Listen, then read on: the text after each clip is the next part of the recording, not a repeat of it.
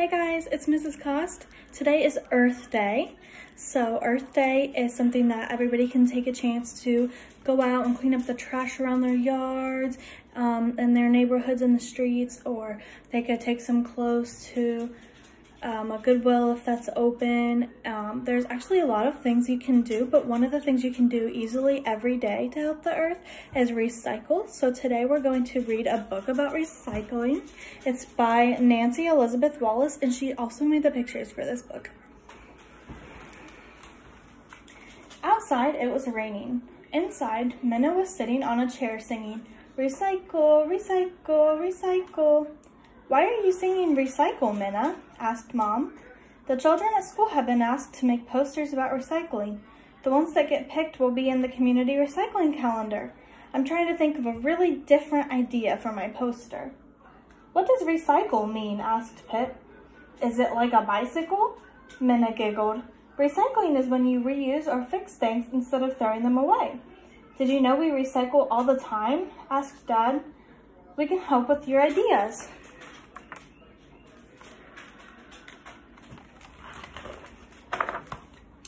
On Monday, they looked through their closets and dressers. I haven't worn this in years, said Mom. I really grew, said Minna. Look, Minna, I grew too, said Pip. This never fit, said Dad. They bundled up their clothes and brought them to the Community Clothing Bank. Passing along clothes in good condition to others is a form of recycling, said Mom. That would make a terrific poster.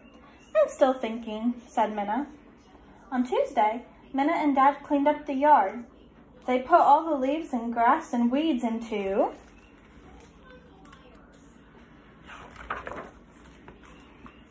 the compost maker. This will turn into nice rich soil for our garden, said Dad. And what a super idea for your poster. I'm still thinking, said Minna. On Wednesday, Minna, Pip and Mom gathered their empty cans. They brought them to the return machines at the recycle center. Scrunch, thing, scrunch, thing. What's happening inside that machine, Minna? Pip asked. The machine is squishing the cans. Then they will be made into new cans, she explained. Pip danced. Look, Minna, I'm doing the can-can. This can machine is a good idea for your poster, Minna. I'm still thinking, said Minna. On Thursday, Minna and Mom got their tote bags. They walked to the grocery store. In the cereal aisle, Minna pointed. There's a recycling symbol. These boxes were made from recycled paper. That means trees were saved. That's why we bring we use tote bags too, said Mom. Is our trip to the grocery store giving you any ideas for your poster, Minna? I'm still thinking, she answered. On Friday, Minna and Pip looked through their books. When I was a tiny baby, I liked this one, said Pip. The Magic Carrot Patch, said Minna. That used to be my favorite. I must have read it a million times. Minna and Pip piled up seven books. They took them to Books for Everybody. Thank you, said Mrs. Libro. We'll give your gently used books to children who might not have any. Everybody needs a book. Look, Minna, posters, said Pip. Are you still thinking? Minna nodded. On Saturday, they had supper. When they finished, Minna helped wrap up the leftovers. To reduce waste, use plastic containers instead of plastic wrap, said Dad. Will that idea work for your poster? I'm almost done thinking, said Minna. On Sunday, Mom asked, Isn't the art for the poster contest due tomorrow? Minna nodded. She began to sing, Recycle on Monday, recycle on Tuesday, recycle on Wednesday. Suddenly, Minna knew what she wanted to do.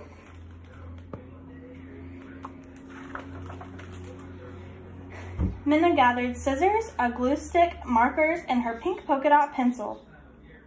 She got out her box of used envelopes, old folders, and scraps of found paper.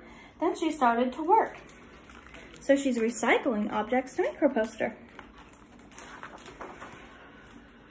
The next day, Minna brought her poster to school. Please, please, please pick mine, she whispered to herself. Monday, Tuesday, Wednesday, and Thursday went by. Finally, it was the day when the children would find out whose posters had been chosen for the calendar.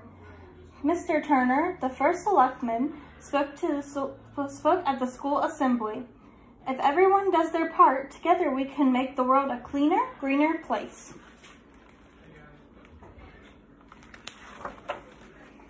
And now, I have the pleasure of announcing the names of the artists whose posters have been chosen. January, Emily. Ring, ring, ring. Hello, don't forget to recycle your phone book. February, Kyle.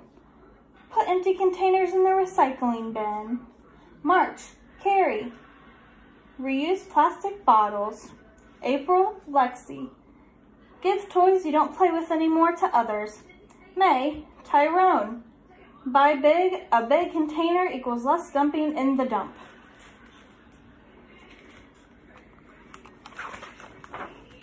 June, Timothy. Important news, recycle newspapers. July, Lindsay. Use scratch paper message pad.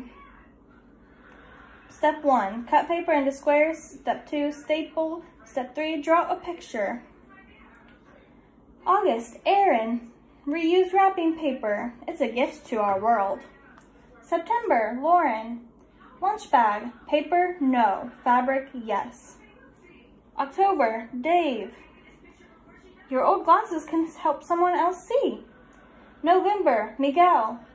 Did you know that 1,050 milk jugs might be recycled into a park bench? And for December, Minna whispered to herself, please, please, please. Vanessa, said Mr. Turner. Vanessa's poster shows us how to make a bird feeder by recycling plastic milk containers. What a wonderful December holiday gift it would make. An old milk container is for the birds. Minna's upset. This will be our best recycling calendar ever, Mr. Turner said. I want to close today with...